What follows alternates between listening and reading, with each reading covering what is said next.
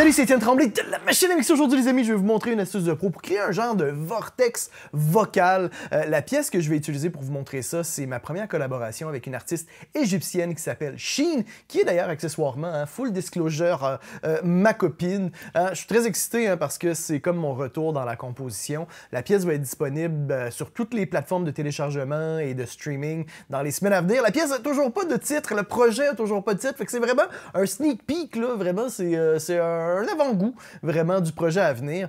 Euh, pour faire ce truc-là de vortex vocal, tombons dans le, dans le vif du sujet, ça nous prend quatre voix. Euh, ça, quatre voix, dis quatre voix, mais en fait, ça nous prend un nombre pair de voix, deux ou quatre voix, dans ce cas-ci, j'en ai quatre, qu'on va placer vraiment sur les côtés.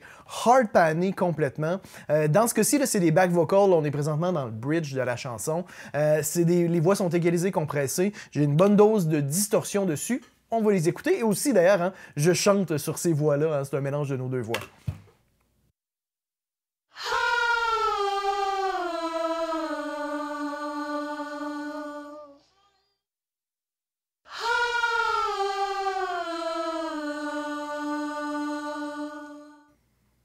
Et là, ce qu'on vient faire, c'est super simple, mais extrêmement efficace, je trouve, ce que ça vient donner comme effet. C'est qu'on va utiliser une réverbération qui va être mono, qui va être assez longue, qu'on va placer au centre. Fait qu'on va vraiment avoir un, feeling d'avoir un point focal vers le centre et que les voix sont aspirées vers le centre. On va écouter.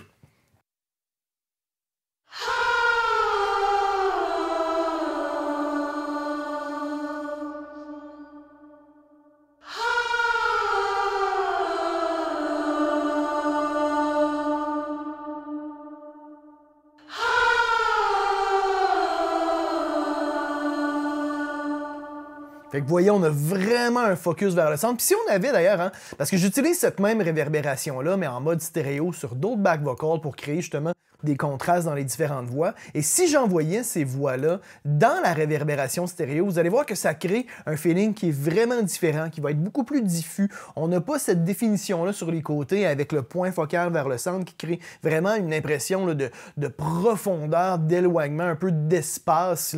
Euh, c'est intéressant aussi en stéréo, mais c'est pas le même feeling. On va écouter.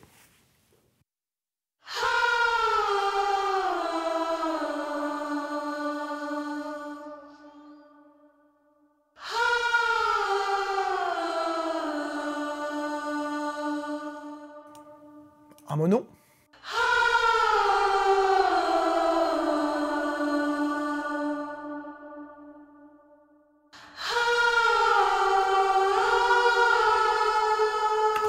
Qu'on a encore une fois vraiment cet effet-là d'aspirement vers le centre. On va écouter en contexte. Moi, je trouve ça super intéressant parce que c'est pas nécessairement super évident en contexte, mais ça nous donne vraiment ce feeling-là de profondeur que moi, je trouve super cool.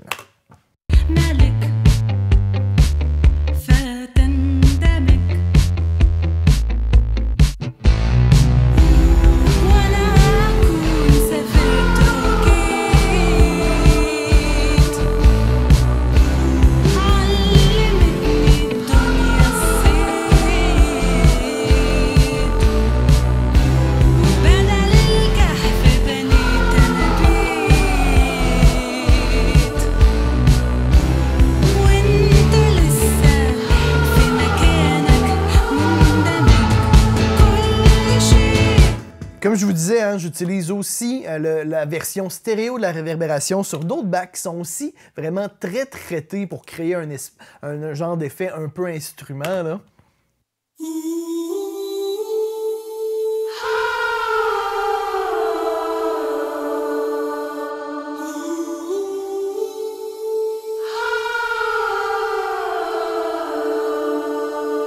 Fait que ça évite, dans ce cas-ci, vraiment une over-présence de la stéréo, de cette, de cette réverbération-là stéréo. Ça crée une profondeur en extra avec la réverbération qui est uniquement au centre. Fait que c'est assez subtil, mais je trouve que ça nous permet vraiment, encore une fois, de créer là, beaucoup plus de dimensions que si on avait uniquement une réverbération stéréo. Fait que voilà, j'espère que vous avez trouvé ce petit truc-là de vortex vocal intéressant. Comme je vous dis, hein, la pièce là, qui, a, qui a toujours pas de titre là, va être disponible dans les les semaines à venir si jamais ça vous intéresse. Revenez faire un tour sur cette vidéo-là. De toute façon, je vais probablement faire un genre de live stream là, quand on va euh, lancer euh, ce premier single-là entre euh, ben, la machine à mixer et Sheen. Fait que voilà les amis, je vous fais de gros bisous. Mettez un petit pouce bleu si vous avez apprécié la capsule. Abonnez-vous à ma chaîne, c'est pas déjà fait. Dans tous les cas, on se retrouve la semaine prochaine. C'était Étienne Tremblay pour la machine à mixer.